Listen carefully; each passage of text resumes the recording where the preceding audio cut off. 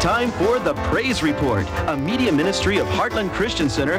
Many have been touched physically, spiritually, and emotionally while enjoying the program. And now, here's Pastor John. When you do the right thing, the right thing will happen, even if it doesn't seem to be happening right now. This would be mainly for our partners who's been with us for many, many years, and you know some of the trials and things we've been through. But I want to say some things here. I am the most blessed pastor in the world. I really am. And we have some of the best partners that are, some of you I don't even know how many years it's been since I've seen you. And you're still there, you're still a friend, you still support. Cannot thank you enough. You still pray for us. All of you that's getting this, I hope that you pray for us. And if you're not supporting, it's a good time to uh, renew a pledge and start supporting the ministry on a regular basis because this is good ground.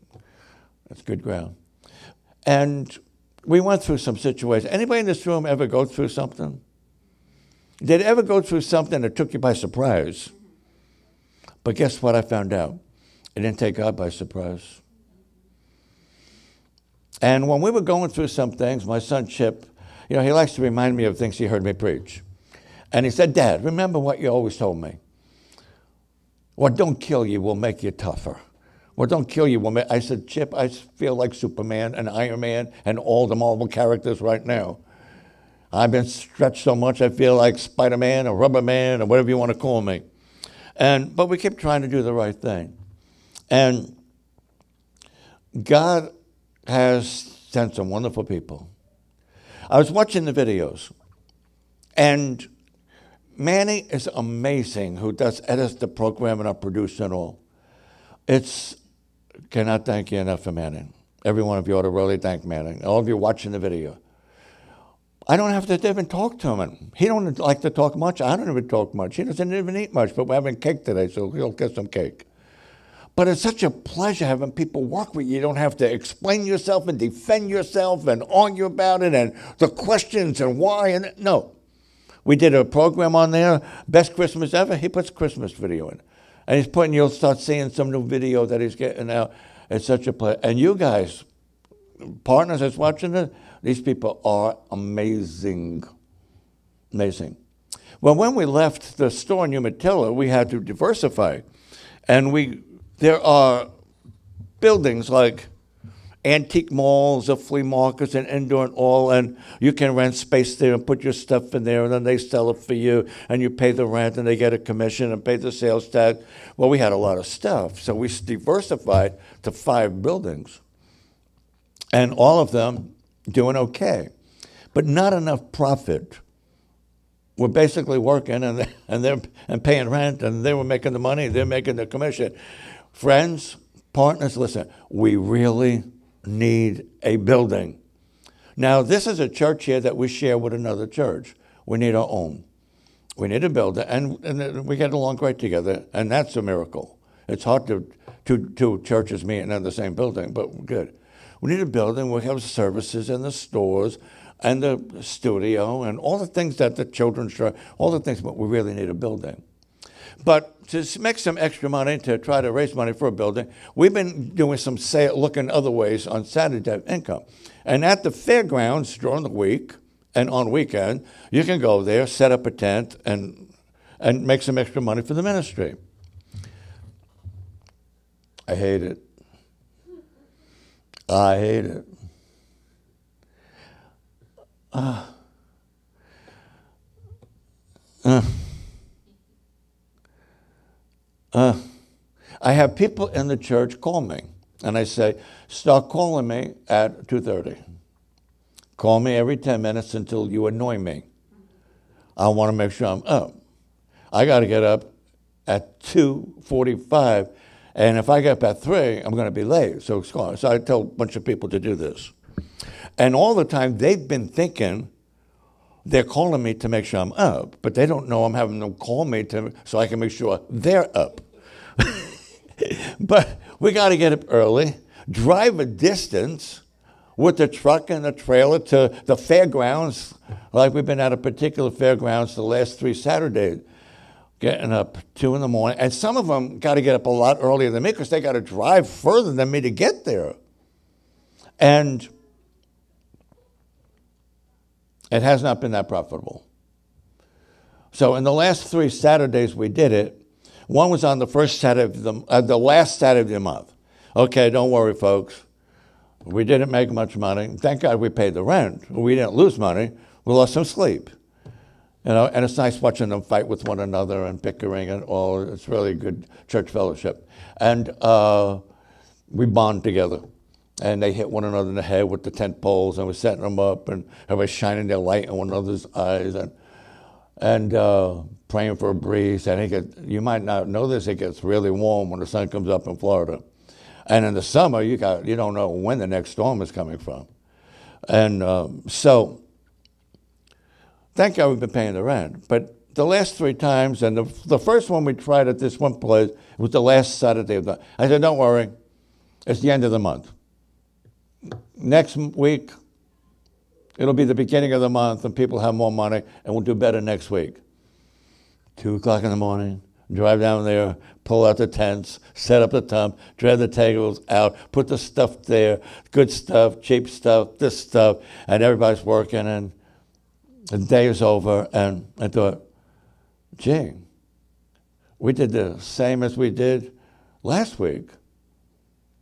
And then one of the vendors says, don't worry, because I find that it's better. The second and the third Saturday is better than the first and the last day.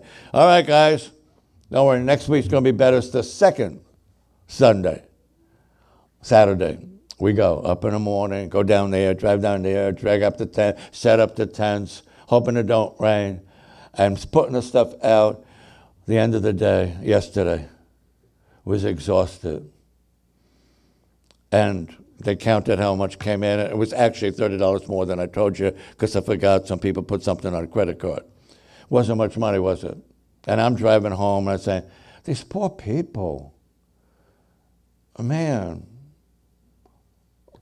they got to go get the stuff when people donate it, and then they give up their time and they give up their Saturday. You guys are amazing. Not too many people. Are, I preached in a lot of churches. I preached in a lot of churches. And any pastor out there would love, you leave my people alone, any pastor out there would love to have people like in this congregation. Would love it. You guys are amazing. I know I got a name for every. Chump has a name for everybody too. I got a name for every one of you, and uh, you have names for others that you can't tell me, but uh, you're amazing. And I was driving back, two hours back to where I got to go, and unhook the trailer, take the truck, and I thought these poor people, Lord. I wish I could told them that they did better for all their hard work. But I go check the mail on the way back somebody comes in the mail. I check eBay. We stole sold stuff on. We stole stuff. We sold stuff on eBay. Are you there? Then I get a phone call. Pastor John, I hate to tell you this, but I was called in to work. I'm not going to be able to come today, but can I meet you before church? I, I want to give my tithe and offering. All right. So I thought, you know what? It didn't go too good. We only made a little money. Everybody worked hard. But somebody come in the mail. Somebody put something on the website. Somebody else brought an offering to make me. And I thought, you know, I'm going to go to a restaurant and eat and treat myself. I didn't want to spend the money for that restaurant. But I said, you know, I'm going to go and I sit there. Is my wife back there listening? Huh? She listening? Listening, honey? Okay. She got my back. And uh, I sit there, I order my meal. Mm, I'm going to treat myself good. And the waitress comes, everything okay? With some more coffee? Yeah. I say, I'm going to have a, another order of bacon. Okay, you order bacon. I go up to the register to pay. And the waitress said, Somebody already picked up your check and paid for you. I said, Are they still here? You're going to give me an offering. I won't. No, I said, I said, are they still here? She says, no, they're gone. I look around, and I thought, wow, I should have got two orders of bacon. No, I said, wow, We did the right thing the last couple of weeks. We're doing, when you do the man part, God will do the God part. You do everything you can in the natural, and God will make it up in the supernatural. So, no, it didn't go too good at the fairgrounds yesterday. And we're going someplace else this weekend. But God makes it up in different ways. Be faithful with your tithes, be faithful with your offerings. And what you can't do, God will do. And what you make happen for others, God's going to make happen. Do you know how many policemen I picked the check up for? Do you know how many people that I saw were down and out? And when they're homeless and all, you know, I don't tell them who I am. I mean, I don't even tell them. I just tell, I just pay for it and tell them, don't tell, I don't want that guy following me. I just buy him a meal right now and bless him. And I am, I want him to say, who was that mass rider? And that's it. A serviceman, military people, somebody's down on their luck a little bit. Mm. See, there's a lot of pyramid businesses out there, and you know how they are? They're, here's how they are. You get a lot of people under you, and they push you up to the top. God's pyramid's upside down. You're on the bottom, pushing everybody else up. That's God's plan for success. So I love you all. We're out of time, but I want to tell you, the partners, you're awesome. People in this room, you guys are amazing. So now don't feel so hard, bad that you work so hard. We're going to have a chance to do it again next week. Amazing people, amazing people. I really do love you. I am blessed, blessed, blessed in Jesus' name. I pray that all your pets out there, God will send you people like God sent me and friends and partners. Some of them, some of you, how long has it been since I've seen you? Some of you I don't even know. I mean, if you came up to me in a store and say, I, I, I, sometimes that happens. And I go, oh, yeah, it was good to see you. And they say, you remember me? I say, how can I forget you? And I leave there say, that was a faith lie. I don't know who this person is from Adam. So I love you all. Keep your prayers and support coming. Share my videos. Bless somebody. Say amen.